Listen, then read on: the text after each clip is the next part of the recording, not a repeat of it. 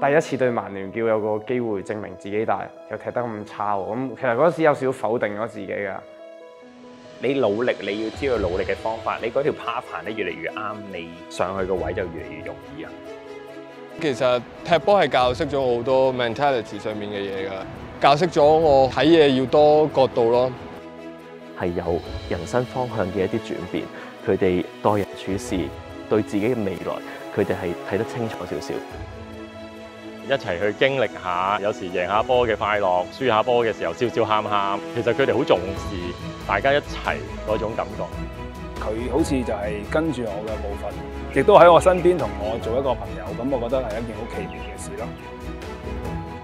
你見到你身邊有人同你肩並肩啊一齊跑嘅時候，咁你其實就慢慢堅持落去。因為佢個足球帶俾我嘅唔係淨係一個波，係帶俾我我自己嘅職業啦，我自己人生啦。突然間被一個咁著名嘅球會嘅足球學校選中咗，第一就諗，喂係咪真係我咧？雖然我足球上面起步係比較遲，咁但係咧其實都揾到方式去繼續去投入去參與呢一項運動。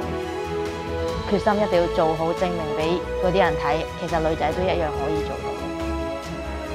我想香港有全職女子足球，可能十年廿年左右啦，希望我仲踢緊咯。開